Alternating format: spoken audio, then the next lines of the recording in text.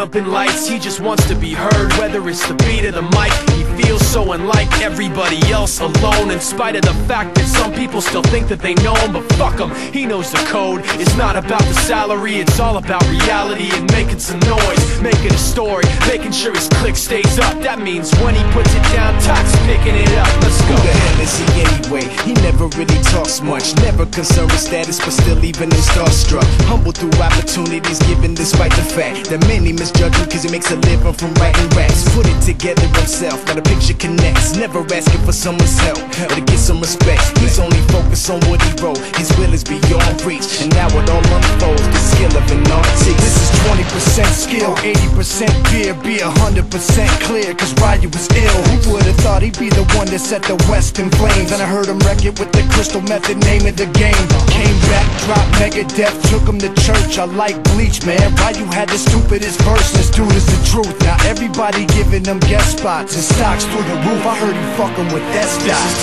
10% luck, 20% skill 15% concentrated power of will 5% pleasure,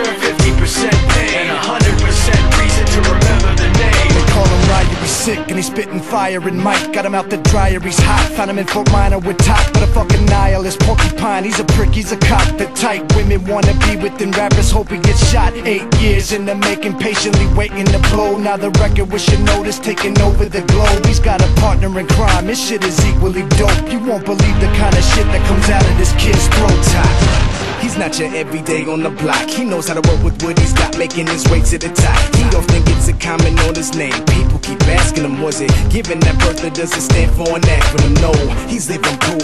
Let him rock in the booth. He'll get you buzzing quicker than a shot of vodka with juice. Crew are known around as one of the best. Dedicated to what they do and give 100%. Forget Mike, nobody really knows how or why he works so hard It seems like he's never got time because he writes every note and he writes every line And I've seen him at work when that light goes on in his mind It's like a design is written in his head every time Before he even touches a key or speaks in a rhyme And those motherfuckers he runs with the kids that he signed Ridiculous, without even trying, how do they do it? This is 10% luck,